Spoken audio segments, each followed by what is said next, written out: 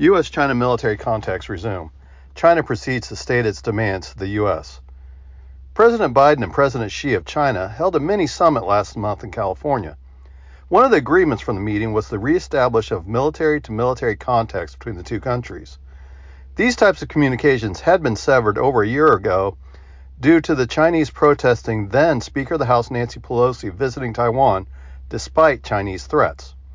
This week, the U.S. Air Force General Charles Brown, who is the chairman of the Joint Chiefs of Staff, held a video conference with Chinese counterpart General Liu Zhenli. Though such high level ties are important to avoid misunderstandings, it was clear that this turned into another opportunity for the Chinese government to lecture the U.S. The tensions in the South China Sea have, have escalated in the recent months as the Philippines assert their interests in the Second Thomas Shoals that have led to tense clashes between China and the Philippines, including multiple ramming incidents of Filipino boats by the Chinese. This has led to the Philippines initiating closer defense cooperation with the U.S., and this included the Filipino government clearly citing the defense treaty between the U.S. and the Philippines to the Chinese. The Filipino government has also conducted several naval exercises in the region with regional powers to the annoyance of the Chinese. The Filipinos also have not been deterred in resupplying its outposts in the Second Thomas Shoals, despite the Chinese efforts to interdict the interdict the resupply missions. The U.S., for its part, has reaffirmed the defense agreement with the Philippines and in response has participated in several exercises with the Philippines and has stepped up freedom of nav- navigation missions in the South China Sea. The reason for the reasons this is an issue for the Chinese is that the Chinese government claims nearly the entire South China Sea as its sovereign territory, contrary to international law. The U.S. and other countries in the region refuse to acknowledge China's claims, and this is becoming an area of concern to China. because despite its threats, the Philippines and U.S. are ignoring China's claims and in the case of the Philippines, it is ignoring China's provocations. The Chinese Foreign Ministry responded this week by stating that Chinese Filipino relations were at a crossroads in what it views as the Filipinos trespassing on in its territory. The second Thomas Shoals is about 600 miles from China and only about 100 miles from the Philippines and is within the internationally recognized exclusive economic zone of the Philippines.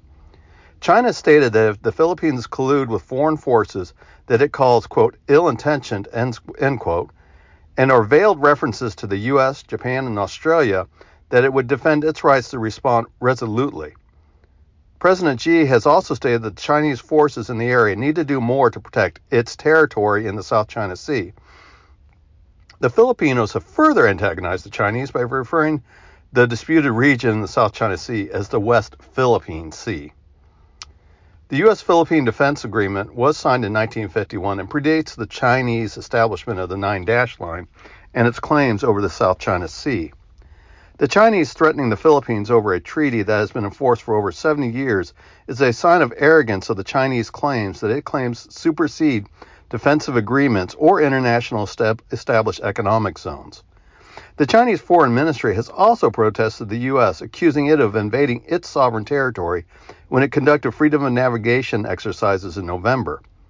The U.S. has kept up the pressure this week with the aircraft carrier USS Carl Vinson patrolling in the area and had a port call in Singapore this week. The escalating rhetoric and the clashes between the Philippines and China were the backdrop for the call between General Brown and General Zhen Li.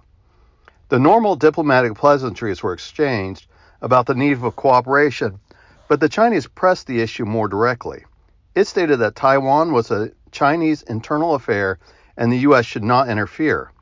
China added that the U.S., quote, should respect China's core interests and major concerns, end quote, which includes the South China Sea, which they stated that the U.S. should respect China's territorial sovereignty, including all of the South China Sea.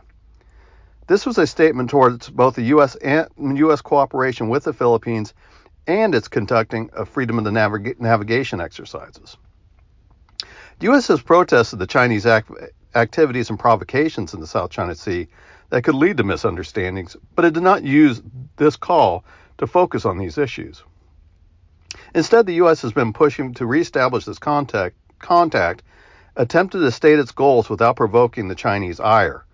The Chinese response did not waste the opportunity to directly dictate to the U.S. that it is being aggressive to Chinese interests and that China expects the U.S. to accept the Chinese position in full if it wants to avoid an escalation. The response is not out of bounds for this type of contact, but also demonstrates that China views these types of contacts to be one way, one way communication. China is leaving no room for compromise or negotiation in its territorial claims and expects all parties to accept Chinese demands and to do so compliantly. The U.S. will most likely not be deterred by this rhetoric, but the fact that the U.S. was much more passive on the call when compared to the Chinese is an area of concern. It can also be seen that China views these types of contacts have no benefit to China, but is desired by the U.S., so it will use it as a bargaining chip to get concessions from the U.S. The U.S. strategy for this call seems to be mistakenly weak and will probably embolden China.